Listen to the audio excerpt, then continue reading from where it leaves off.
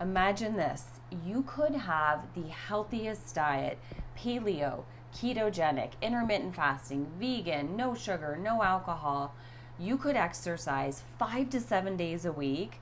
You could get the most restful seven to nine hours of sleep a night. You could take all your high quality supplements every day. You could even get the best, most personalized treatment program from a naturopathic or a functional medicine doctor.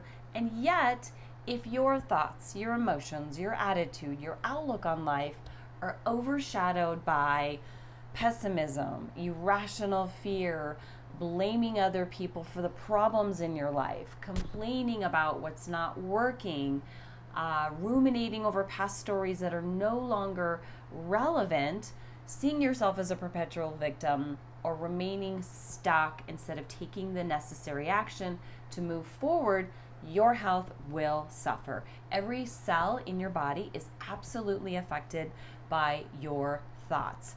Stressful, chaotic, negative thoughts, or loving, nurturing, and positive thoughts. Which will you choose?